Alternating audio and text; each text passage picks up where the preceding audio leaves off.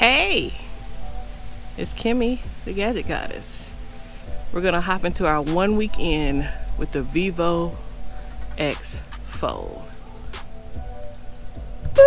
Okay, so we were gonna do a one weekend check in on this phone, but I had a change of heart and decided to do a two weekend check in. I shot footage that day, so I'm gonna include that footage in here in this video. And other things that I can use. But there's some other things that I kind of discovered on this phone within the past two weeks that I'd like to get into this video. If you haven't checked my video out on the Vivo X Fold Flip OEM case, make sure you check that out. I don't have it on it right now. I also had purchased a clear case. I don't really care for the front, so I'm just using the back when I'm at home, and I use the flip case when I go to work. I'm gonna start off with things I don't like. RCS. I love RCS is my go-to when it comes to sending pictures in RCS for me. I'm reading around on XDA and some other places where people aren't having this problem. It's hit and miss. Like some people have the problem, some people don't. And right now, what I'm seeing is when I try to send a picture, sometimes the picture will clear, sometimes the picture will not, and I have to go back into the default text messaging app and send my picture, which can be a pain in the butt. If I get one to go through, I'm not getting a second to go through back to back. Or if I get one to go through to one person and I come over here and want to send one to somebody else, it's not going through back to back. So I already know if I've gotten one to clear, there's no need me trying another one right behind it because it's just not gonna happen because it should work. But for me, I really think it's a pain. Sometimes it'll give you just a no. Sometimes it will continuously try to send said picture and drain your battery. So then I proceed to just delete. I'll go through and send it in the default app that came on the phone. No harm, no foul, right? But a lot of us like RCS. I like RCS. I like to know when my pictures are delivered and the person's checked it and all that good stuff. So that's my number one gripe on this phone. I had a previous gripe, but I'm glad I waited another week before I got to my gripes about the phone because I like to have my apps to where I just flip the screen up and there they are. Versus, uh, I think before when you flip the screen up, the default on this device was to give you the widgets that were offered by the phone, which most of those are Chinese kind of widgets, things that I'm not going to use. But here, you know, I just got all my apps and I'm good to go. I always like swipe up, and if I need to search, I can swipe down. So either one of those, you know, swipe up, swipe down, I'm getting to my apps. For anybody saying, hey, I don't like the alerts that come through with Chinese writing from default Chinese apps in the phone. You can turn those off. It's just like turning off any alerts on any other setting in your device. What you want to do is you want to go into uh, the actual settings and you want to go into notifications and once you get into notifications, you want to get into app notification management. And when you go into app notification management, you want to go down to these apps that are giving you the notifications and just turn them off. See, allow notifications and turn it off. I don't use their browser, so therefore I'm going to go into that and turn it off. I think another one that comes through a lot is like the Vivo App Store, if I can find it. Yeah, so all of my Vivo stuff here, the wallet and everything, I've just turned those off. So if that's a problem for you, you turn it off. You will never get another alert from those apps. I do find I'm using this phone a lot more than I'm using my second phone. I, I carry two phones. And so this is my go-to, even though I carry the iQOO there are a few things that I have on the iQOO that I don't have here and vice versa. That being said, I could go a day and a half, almost two days on one battery charge here, but it's so simple. Like every morning when I get ready, I don't charge my phones overnight. So when I get ready for work in the morning, I will stick the iQOO on its 120 watt charger. I'll stick this phone on the 80 watt charger while I shower, while I get ready for work. And when I leave to go to work, I just pull my phones off and leave and they're fully charged. Yes, yes, yes. Wonderful, wonderful to get a fast charging charger with your phone in the box when you purchase it. Thank you, thank you, thank you, Vivo. I want to give a shout out to William Rohorn because you were very helpful for me and another commenter on my first video. Chinese variants usually don't allow you to run launchers. So that's usually my go-to answer. If you're picking up a Chinese variant, you cannot run a launcher on it. And that's not the case with this phone. I was able to download Smart Launcher go into my default settings, change my default launcher to smart launcher. When I rebooted my phone, the launcher stuck. I am running the launcher from the phone, but I did test this theory out and it completely works.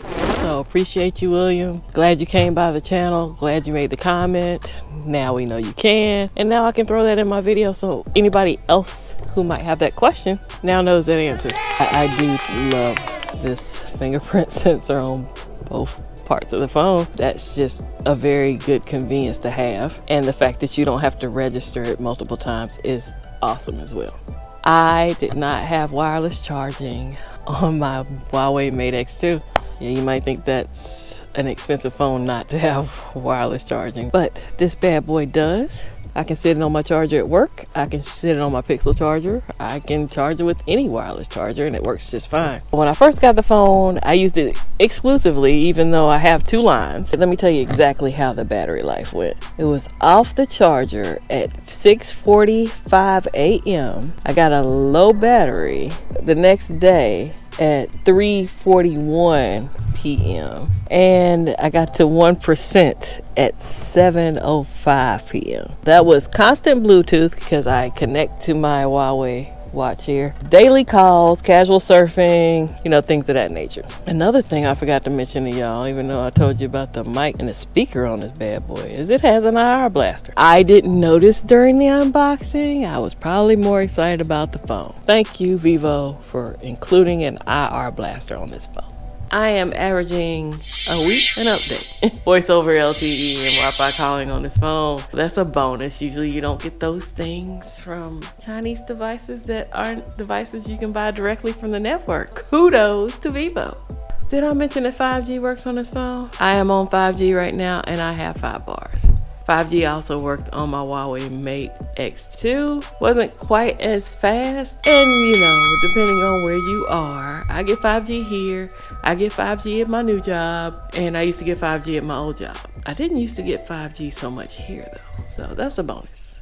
So as you saw in my first video, my first impressions, unboxing, whatever, I did a lot of comparisons to this phone and the Huawei Mate X2. This phone for me seems to be lighter. I am still hunting a case that's gonna be thinner in the front. It's kind of like the case journey I went through with the Z Fold 2. I'll link you to that. I could never find something that would allow me to use the gestures in the front of this phone. And if you have a thick case, you're not swiping over and getting anything. Screen protector on the inside has held up really well. It does not stick like my Huawei Mate X2 would stick. You could literally hear it when I would open it up, it'd be like, like I was pulling apart plastic or something.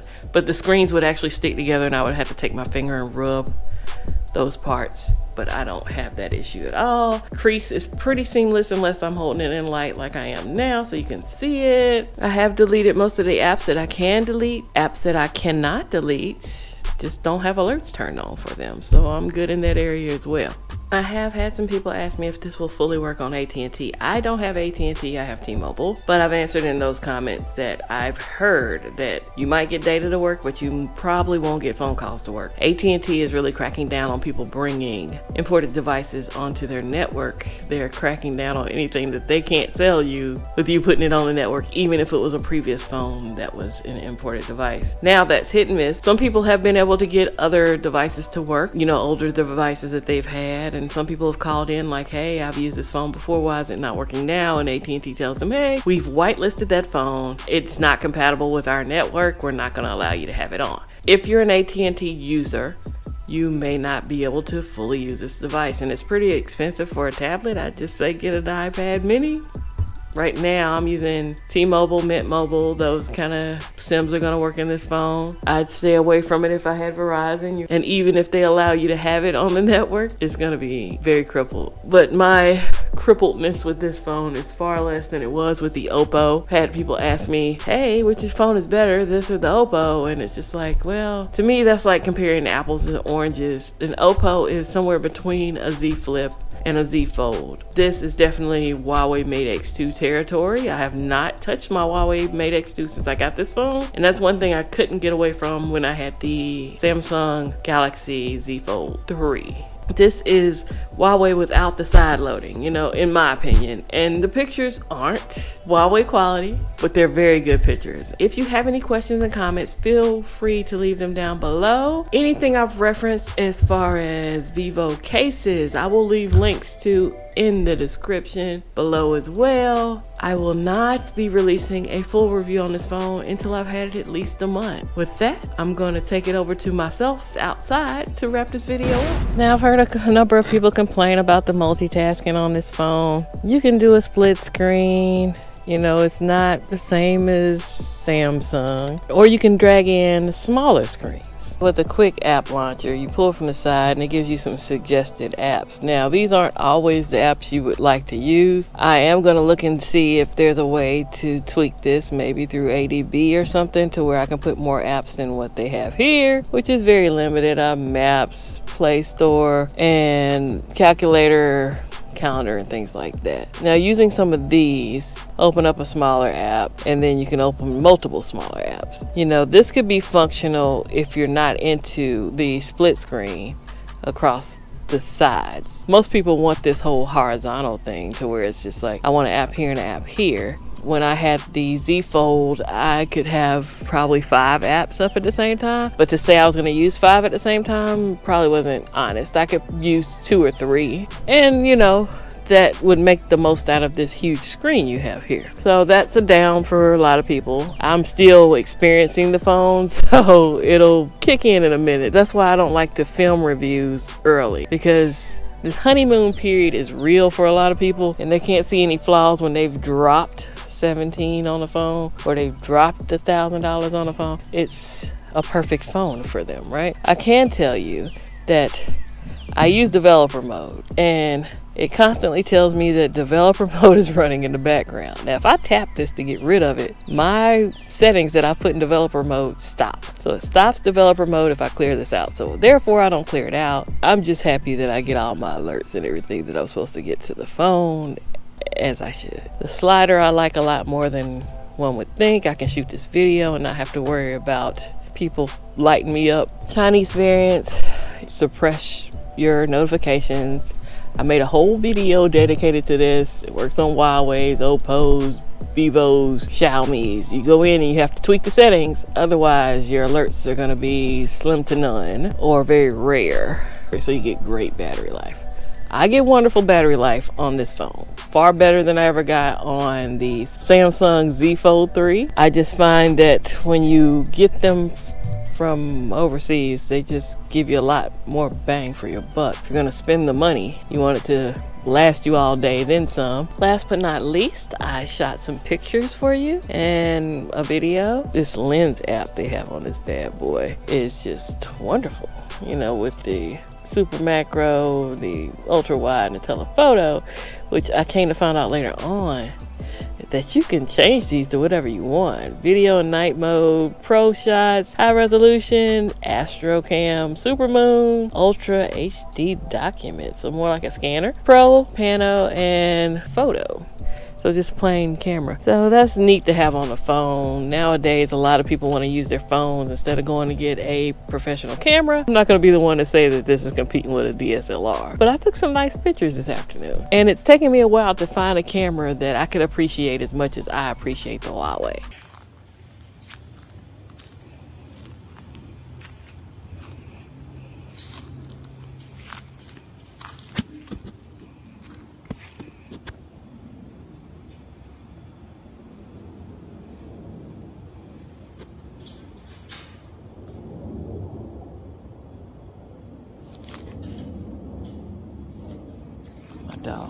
This noise.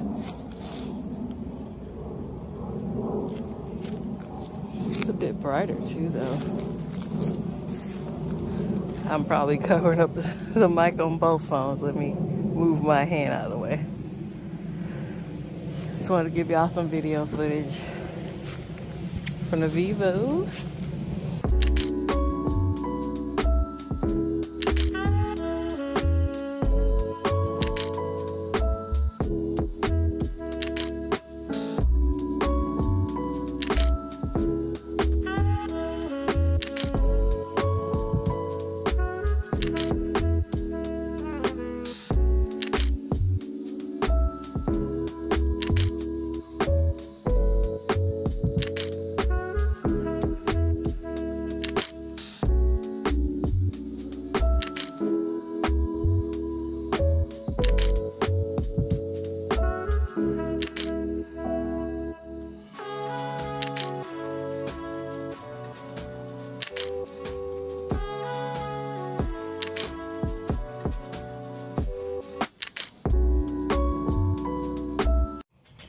Kind of don't even want to know what's in there, lady. Lady, stop digging. Hey, hey, hey. Lady. Stop digging. Stop digging, lady. I'd like to thank you for stopping by this channel, catching my week update with the Vivo X Fold. I'd like to thank you for your time because time is money. And I hope you'll come back by the channel and visit your girl as we continue testing out the Vivo Fold. I'll try to catch you on the next video if you're around. Holla!